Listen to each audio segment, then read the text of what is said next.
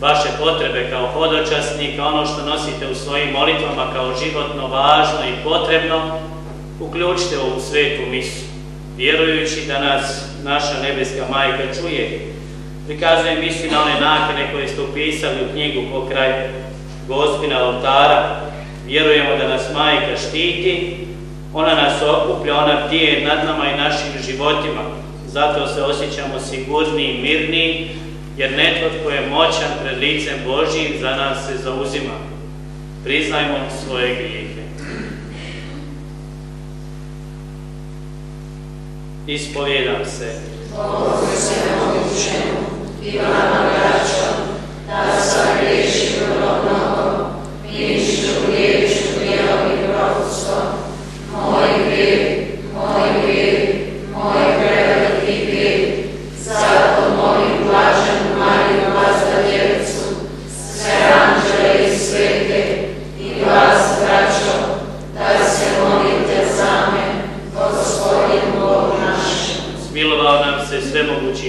otpustio nam grijehe naše i priveo nas u život vječni. Amen.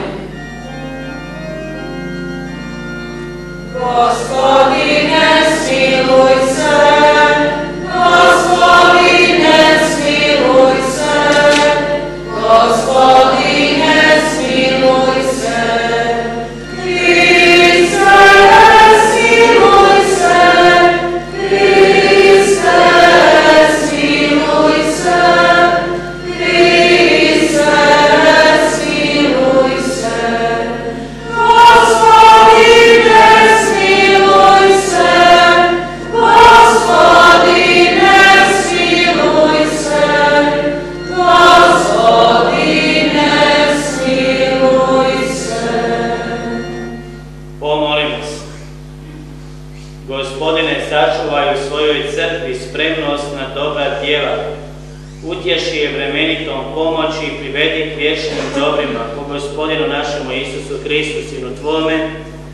s Tobom živi i kravi u jedinstvu Duha Svetoga Bog, posve vijeke vjekova.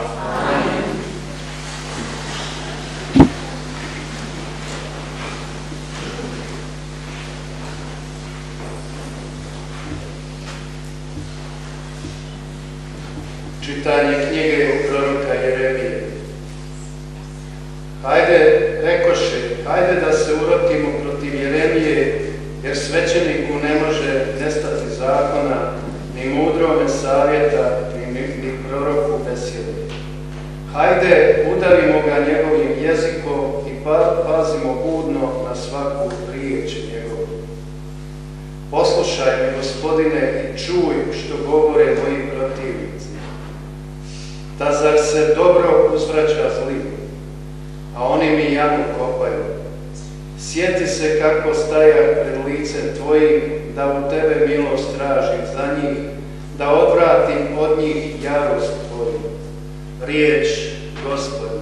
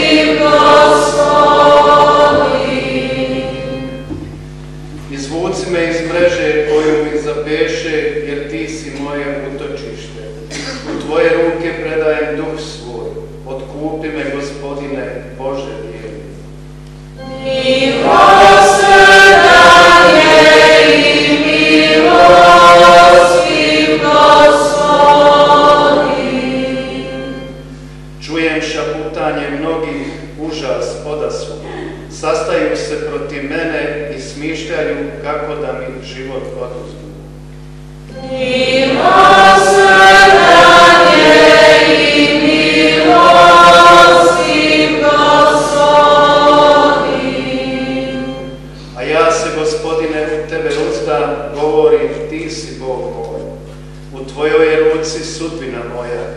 Istrpni me iz ruke dušmana i onih koji me progone.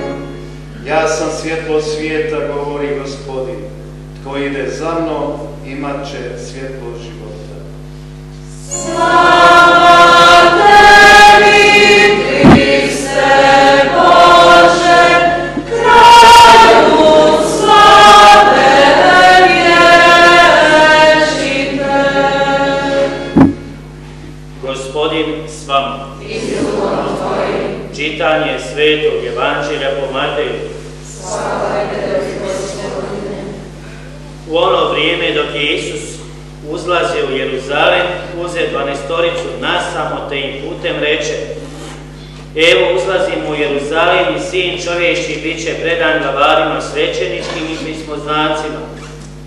Osudit će ga na smrt i izručiti poganima da ga istrugaju, izbičuju i razlaču. Ali će treći dan uskrsnuti. Tada mu pristupi mati sinova Zebedevi zajedno sa svojim sinovima paljeničice da ga nešto zaište, a on će joj što želiš? Kaže mu, reci da ova moja dva sina u tvome kraljestvu sjednu uzate, jedan tebi s desna, drugi s lijeva. Isus odgovori, ne, ne znate što ištete. Možete li piti čašu koju ću ja piti? Kažu mu, možemo. A on će im čašu ćete moju do duše piti, ali sjesti meni s desna ili s to nisam ja vlastan dati, to je oni kojima je pripravio moj otac. Kad to čuše, ostala desetorica razgnjeviše se na dva brata. Zato ih Isus dozva i reče, znate da vladari narodima svojim gospodu i velikaši njihovi drže ih pod vlašću, neće tako biti među vama. Naprotiv, tko hoće da među vama bude najveći, neka vam bude poslužitelj. Tko god hoće da među vama bude prvi, neka vam bude sluga. Tako i sin čovječi nije došao da bude služen, nego da služi i život svoj dade kao otkupninu za mnoge. Riječ gospodnja. Slava tebi, Hriste.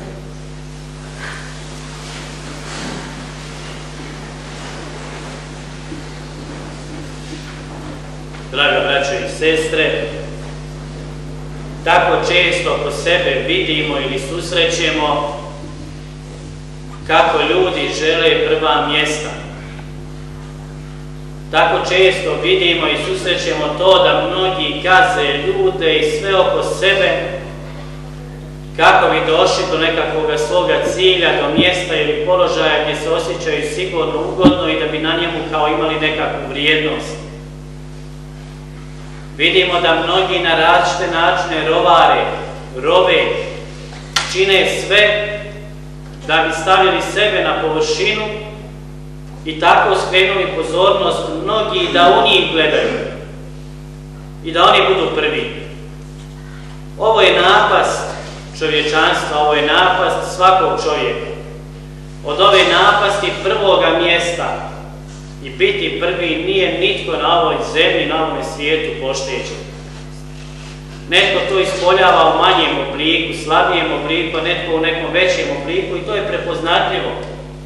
Mi ćemo jako brzo uočiti ljude koji žele dominirati, koji žele biti prvi, koji žele da ih se nešto pita, koji žele odlučivati bez da vode brigu za drugoga i da im je stalo do drugoga, nego im je to što zapovjedaju, što ih se pita i što su na prvome mjestu dovoljno i dosta. Od ovoga nije nitko pošteđen, ni obični vjernik laik, ni svećeni, ni biskup. Nitko. Nitko ko se zove čovjekom i tko nosi ljudske slabosti i ljudske nesavršenosti u svome biću. Ovo je velika napast. Vrijeme korizme nam nekako želi dozvati u pamet, želi staviti pred nas upravo to da ne želimo prva mjesta na način gdje će drugi biti podređen ili ugrožen ili manji ili bezvrijedniji. Nema Isus ništa protiv da netko napreduje, da ide naprijed, da bude radin, da osvaja, da bude bager u onome što radi. Nema Isus ništa protiv toga. Nego ono što nas današnje evanđelje upozorava, što je to što nas Isus opominje i što nam nekako kao da veli nemojte tako činiti, ne smijete tako činiti. Dakle, Isusova je poruka da ne pravimo od sebe božanstvo, da Bogu damo mjesto u vlastitu životu.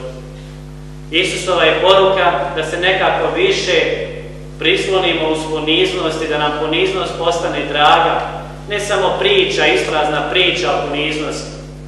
Da li je netko, nitko od nas ne može za sebe reći ja sam ponizan, ja sam malen, ja sam, evo tako, ispunjavam tu Božju zadaću poniznosti. To će primijetiti drugi ljudi. To će osjetiti ljudi koji dijeli s tobom, sa mnom, svakodnevnicu. Da li u mome i tome životu ima one iskrene, božanske, Božje poniznosti, koja zapravo daje veličinu Božjem stvorenju čovjeku ili oholosti koja čovjeka uništava. Čuli smo evanđelje koje govori, o tome kako jedna majka dolazi Isusu i majka po majka zabrinuta za budućnost svoje djece, vidi da je Isus čudotvorac, vidi da svi idu za Isusom i ona majčinski promišlja, vidi u Isusu sigurnost za svoju djecu.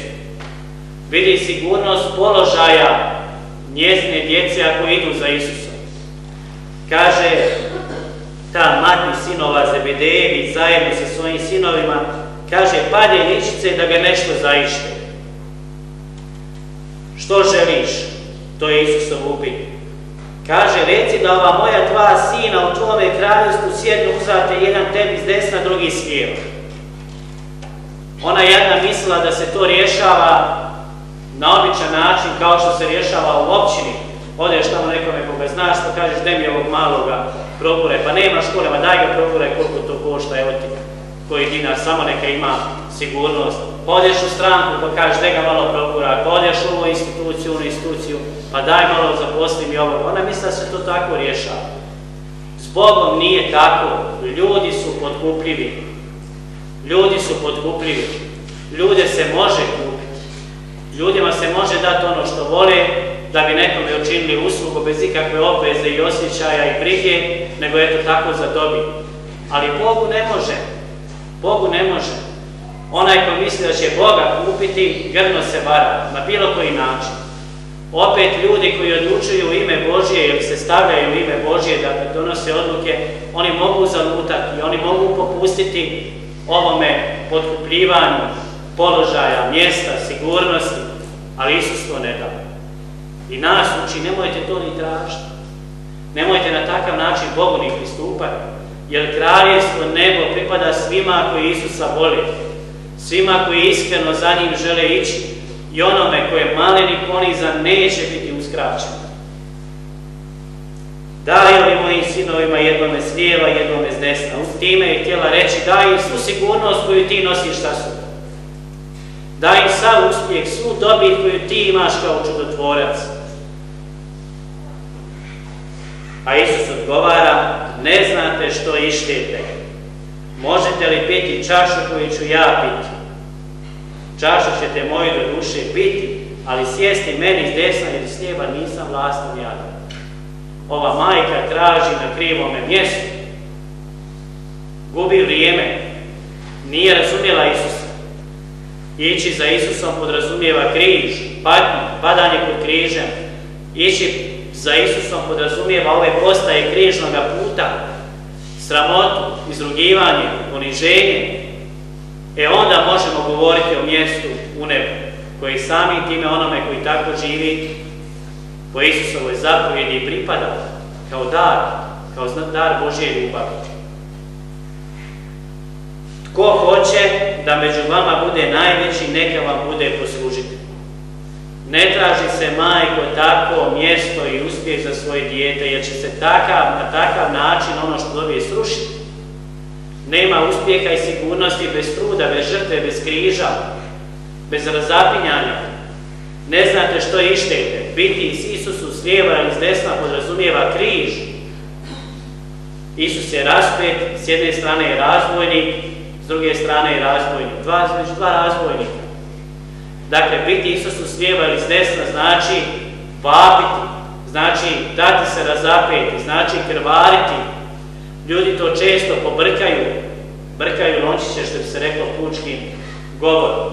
Misle ići za Isusom, da to znači nositi duge haljine rese, parade, paradirati, a iza toga stoji jedna žrtva, jer je nemoguće za njim ići, a ne prolaziti na način drugačiji ono što je on sam prolazio.